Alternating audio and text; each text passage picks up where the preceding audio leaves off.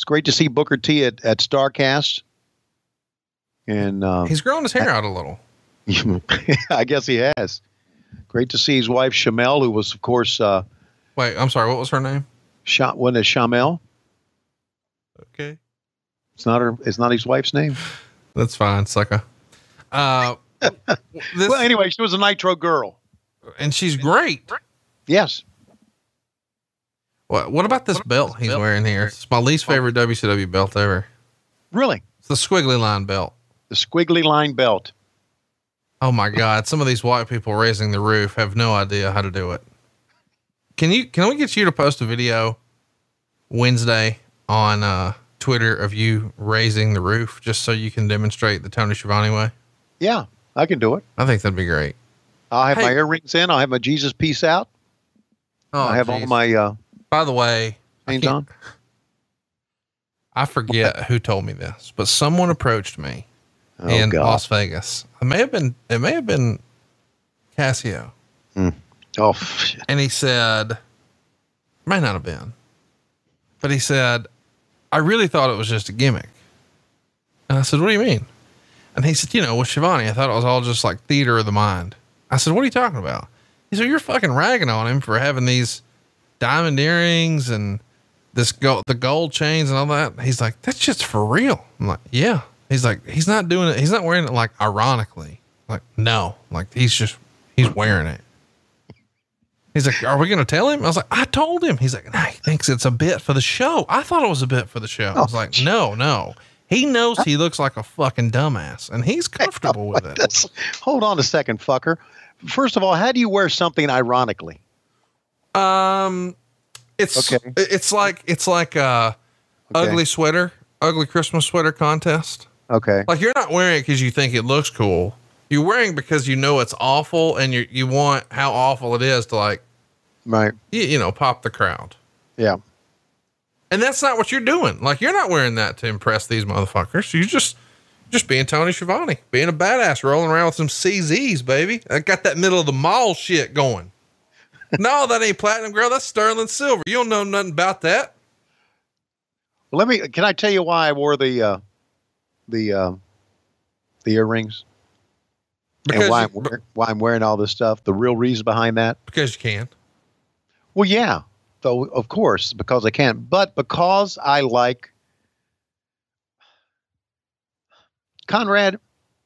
You know this by now, but I'm a weird fucker. That's a fact, Jack. I'm, a, I'm a weird fucker. Okay.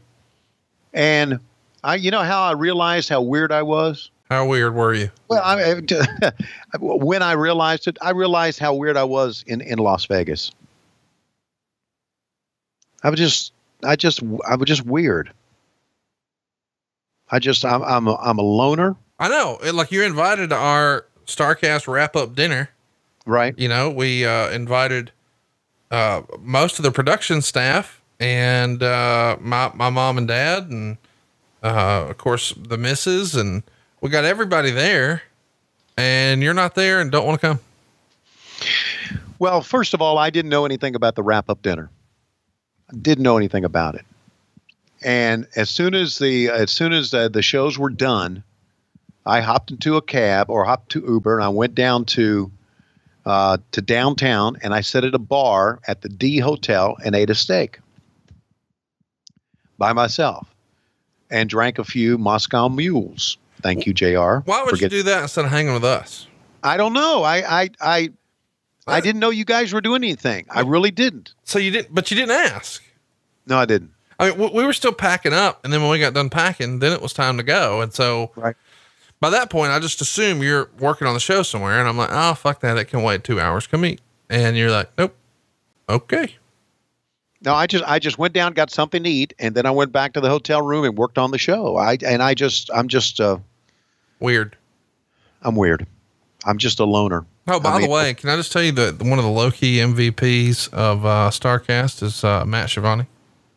I'm very proud of Matt. Very proud. He did a hell of a job. I thank you for saying that.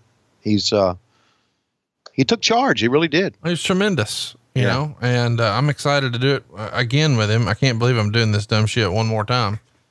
Uh, but Starrcast three Chicago, and uh, I haven't seen sent you the lineup of the shows, but I think you're going to dig it. Yeah, I well shit. I dig anything you do, buddy. But just just I just I'm a weirdo. And I just I put in those earrings because I knew that you would shit on them and I knew all you guys would shit on them and I just I don't know for a laugh maybe or a rib or whatever. I just No, you liked I, it. You had your ears pierced long ago. Well, long before I knew you. Exactly. Exactly. And I did that for a rib on Lois because I knew Lois would shit on it and I got it for my 50th birthday back then, and and she shit on it, and it's just it's just it's just funny to me, and I just I'm a weird motherfucker. Sorry, I'm just I'm just odd. No, but you're our odd. You're our you're like the George Costanza of wrestling. Oh, I'm not George Costanza of wrestling. Yes, hundred percent. Maybe so. Uh, Maybe it's because when I open my billfold, there's nothing but receipts in there instead of money. Is that it? oh my God. That's what Costanza used to do. Oh God. Hey, meanwhile. Well, uh, I, I, just need you to hit somebody with uh, the jerk store called. The jerk store called. like that's the most Schiavone line ever. Oh God. So, but anyway, uh, so yeah, you're you're uh, hooked in with a weird guy. And and, and also I want to I want to add into this. Fuck Casio, motherfucker. I'm, I was on his podcast. On that motherfucker's podcast. He's going to talk about me behind my back? Well, fuck him. Yeah, I agree. Fuck Casio. anyway, he'll be on next week. Yeah. Hey, should we tell everybody what we got coming up? Yeah, you uh, we uh, came up with a pretty damn good list of stuff coming up. Yeah, we've got uh, we've got the next several shows wrapped up, and I guess we should um, we should tell everybody we're talking over a pretty good match here. Yes, we uh, are. three and a half stars. It's still a little weird to you know get super excited about a Chris Benoit match, but this series is really the series that that kind of put both of these guys on the map. You know, the Booker T had been positioned as a tag team guy. Now he's going to be a single star, and this TV title feud he's having here with Chris Benoit, I remember being something that a casual wrestling fan in my life, a very good friend of mine, someone who wasn't really paying attention to wrestling, started to get into it a little bit because the NWO was getting hot and things like that. And the first match or the first person he really gravitated to was Chris Benoit. And it was because of this series where he was really? like, oh man, he's like, he enjoyed all the wrestling, you know, uh, oh, I love wrestling. I love Nitro and Raw and blah, blah, blah who's getting into it. But when I would say, "Hey, who's your favorite wrestler?" I'm I'm expecting in 1998, you know, Steve Austin, I don't know, Shawn Michaels, Bret Hart, Ric Flair, Hulk Hogan, DDP, whatever. He hit me with Chris Benoit. Huh. Which I thought was, don't get me wrong, I like it. But from a casual wrestling fan standpoint, I assume, oh, he's going to say Sting or Lex Luger or whatever, a more established big name guy. I thought Benoit was really more for the hardcores.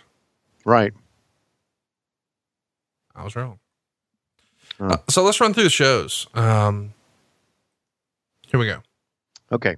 Clash got, of the Champions seven. right. coming up next week. What do you remember about Clash of the Champions seven? Well, Clash of the Champions seven wasn't that the one that was on the army base?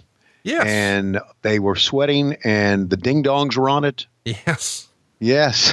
How do you remember all this? I, and I remember Steamboat was in the main event against Terry Funk. Well, there you go. You've got yeah. uh, the Freebirds and the Midnights, Sting and Bill Irwin. Woo.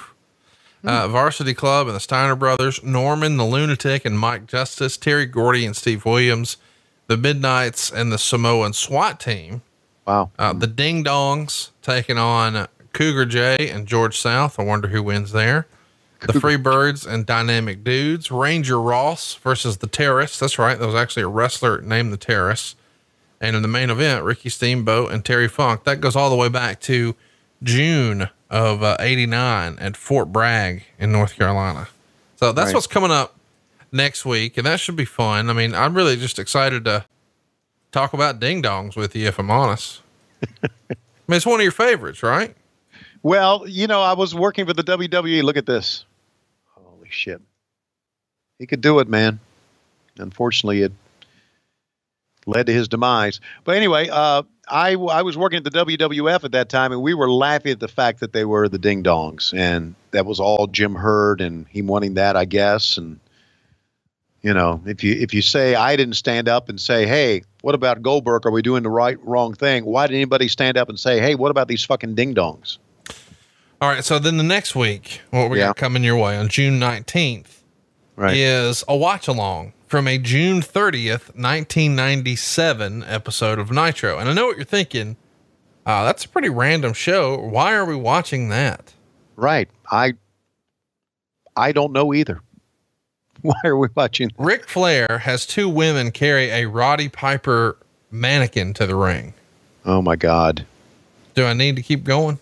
No, I think that's that sells it enough. Like I, when I saw that, I was like, well, fuck, that's what we're doing. Mm. I know what we're doing. There's lots of fun stuff on the show, though. You know, you got lots of luchadors and, you know, Eddie Guerrero and Dean Malenko and, you know, uh, Ernest Miller and Billy Kidman and obviously all the big stars, the Hulk Hogan's and the Scott Steiners and the DDPs and blah, blah, blah.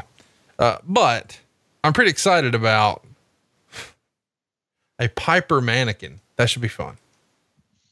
Especially if if Flair had one of, and I don't remember this, but he could have had one of the girls get down on her hands and knees in front of the mannequin and you know give it a pipe job.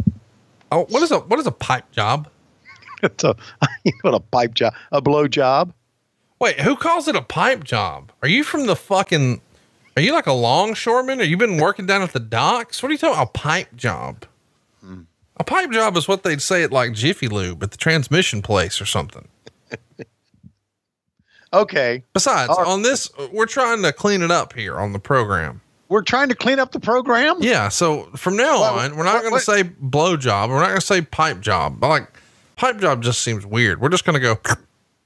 Okay, just try to suck his dick. How does that sound? What? Why are we why are we trying to clean it up? What was has somebody come down from the from podcasting heaven and said Schiavone and Conrad Thompson need to clean it up because they're getting too risque or too uh, vulgar on their podcast? Is, is that it? Yes. Why are we trying to clean it up? Yeah. I mean, you nailed it. That's right. Yeah.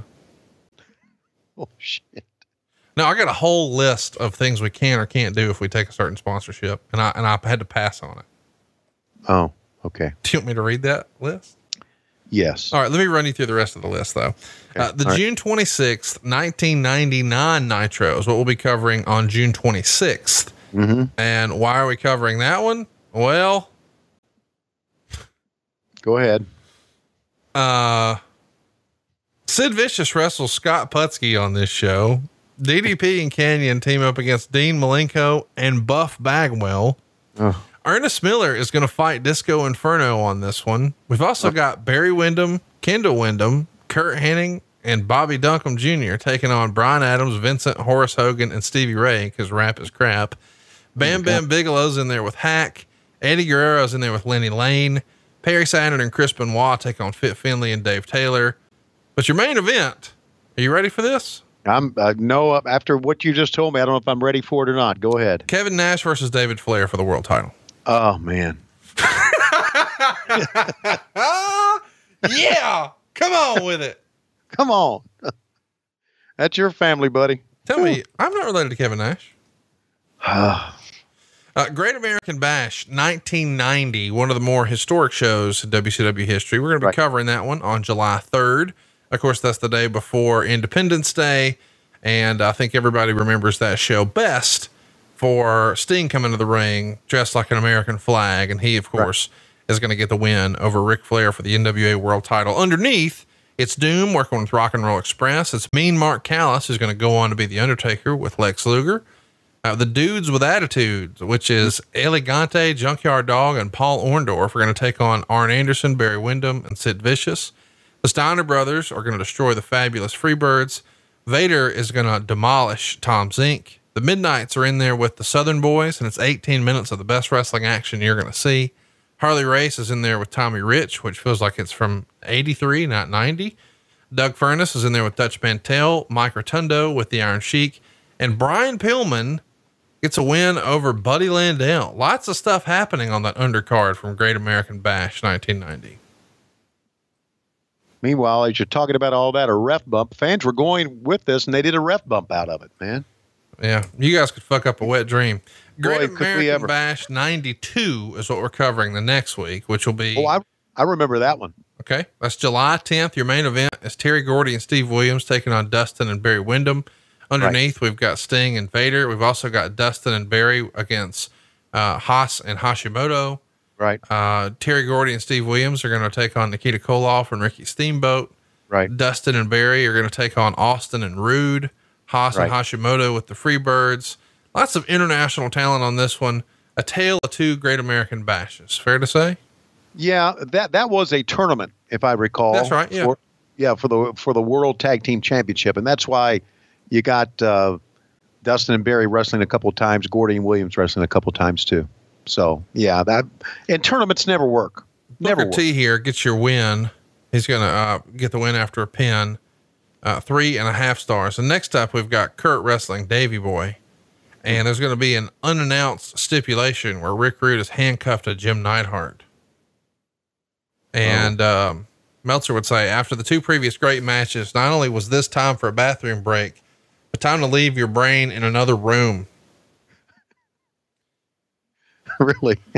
Now they're trying to explain the unexplainable. You see, the reason Rude has handcuffs every week and after the angle is over, Doug Dillinger always has the key. And that's because all handcuffs have the same master key. Okay, granted, Dillinger should always carry a handcuff master key because God knows what these guys are doing on the road with handcuffs and sort of emergencies might crop up. That much is understandable. But given all that, because it happens to Smith and Neidhart every week, why don't they carry one of these secret master keys with them as well? At least What? thinking like that distracts you from having to wait until this match is over. Yeah. never, never try to talk about logic when it comes to this shit. Look at the bump that old Mickey Jay put took. oh wow. I bet you hate Mickey Jay. no, I don't hate him. Well, you said you, you liked sensical wrestling and that was a nonsensical bump. So you probably put him in a luchador mask and call him Super Refo. No, if Mickey Jay was told to take a bump, how can I hate Mickey Jay for, for doing what he's told?